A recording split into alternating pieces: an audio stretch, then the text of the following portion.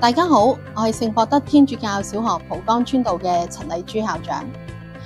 我哋學校嘅辦學理念係咧推行以基督精神為本嘅全人教育。我哋咧着重咧培養學生嘅良好品格啦，誒、希望咧小朋友能夠咧學會咧關愛同埋咧服務嘅。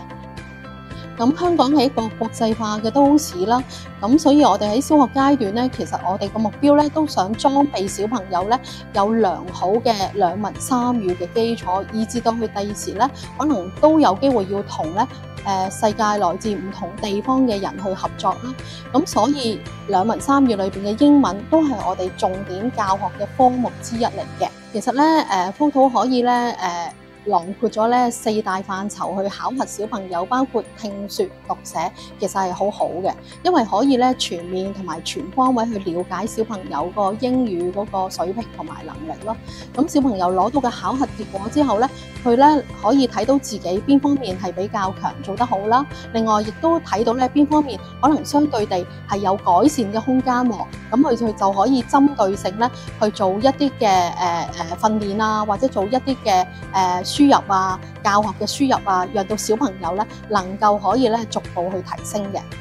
首先啦，咁一啲國際認可嘅證書啦，對小朋友嚟講咧，誒、都係一個咧誒、一個誒、水平嘅參照嘅數據啦。咁佢哋攞到嘅證書嘅話咧，去俾到中學咧，咁都讓中學嘅校長同埋老師知道咧小朋友嘅水平去到邊度啦。咁另外咧，佢哋考到好成績，其實對佢嚟講咧，都係可以增加佢嘅自信嘅。咁譬如我有個小朋友啦，攞到 Best of Best 嘅大獎啦，咁都會見到佢咧，佢個自信心咧係誒增強咗嘅，去去比以往嚟講咧，願意咧誒多啲用誒、英文啦去同人做分享啦，同埋誒見到佢都主動咗咧去參與一啲嘅英文嘅活動咯，咁所以其實對小朋友都係有一個嘅幫助嘅。TOEFL Best of the Best。